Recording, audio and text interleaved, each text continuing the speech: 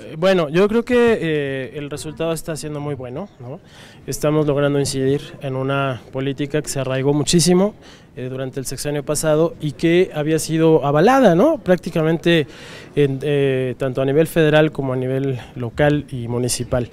la audiencia era una audiencia temática, era una audiencia para plantear la, la, situación, pero está teniendo efectos muy, muy importantes. Yo creo que aunque todavía el protocolo eh, que se presentó, el acuerdo que se presentó ayer, eh, no satisface plenamente lo que nosotros hemos planteado desde aquí y el llamado que hizo eh, especialmente el comisionado Escobar en la Comisión Interamericana, sí representa un avance sustancial. ¿no? Por lo pronto ya no tendremos esas ruedas de prensa en vivo en donde se presentaban las personas.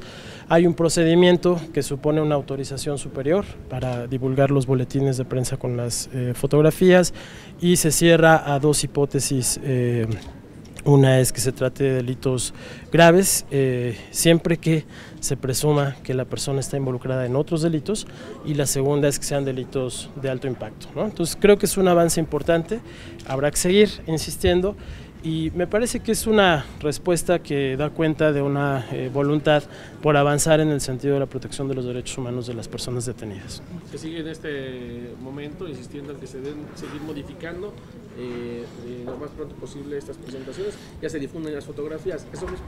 Sí, yo creo que em, eh, poco a poco vamos a ir viendo que la Procuraduría, esperamos nosotros eso, se dará cuenta de que esta práctica no ayuda a lo que ellos han planteado. ¿no? Eh, básicamente lo que argumentan es que eventuales víctimas eh, podrán reconocer a estas personas y con eso fortalecer las, las averiguaciones. Nos vamos a ir dando cuenta poco a poco que el tema no tiene que ver con eso, sino más bien con los momentos procesales en los que se puede hacer pública eh, una acusación. si, si pudiéramos movernos hacia ahí estaríamos en el espacio ideal. ¿no? Eh, perdón, en, otras cosas, perdón del cambio, el referente al asunto de Bastel Gordillo, parece ser que se siguen eh, señalando eh, beneficios, privilegios sobre la lideresa de, de CENTE. ¿Qué ha detectado la Comisión de Derechos Humanos que ha hecho estas investigaciones? Nosotros seguimos investigando. Lo único que sabemos de cierto es que la señora sigue en, en Tepepan. Sabemos de cierto también que tiene necesidad de estar ahí por razones de orden médico. Y sabemos de cierto también que eh, su regreso al eh, lugar en donde estará ya finalmente ubicada representa condiciones de riesgo que hay que cuidar. No, eh, tenemos eh, noticia de que se haya otorgado algún otro tipo de privilegio.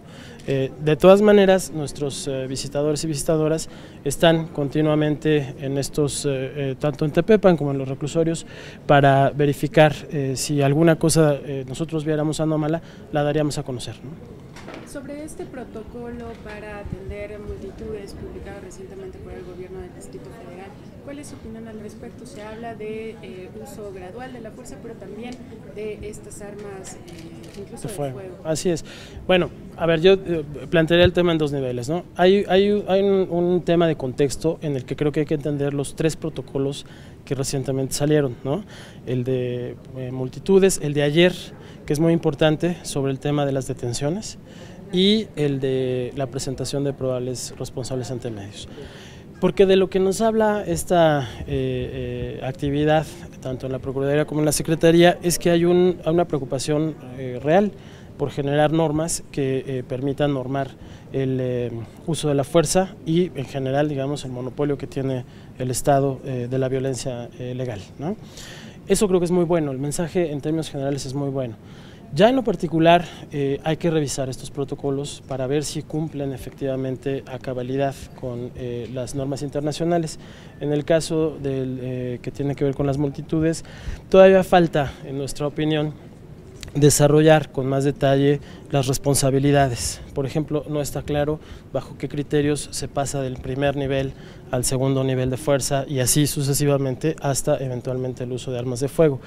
Hay que revisar también la concordancia con la ley eh, de uso de la fuerza eh, de la Ciudad de México que está siendo objeto ahora de revisión pero que eh, por el momento, junto con los instrumentos internacionales, prohíbe el, uso de armas de fuego en manifestaciones y en eventos tumultuarios. Entonces, Entonces, todavía hay que verificar detalles. Lo importante aquí es que ya hay algo sobre lo cual trabajar, ¿no? y me parece que podremos ir conjuntamente, la Comisión y la Secretaría de Seguridad Pública y la Procuraduría, para ir afinando estos detalles. ¿no?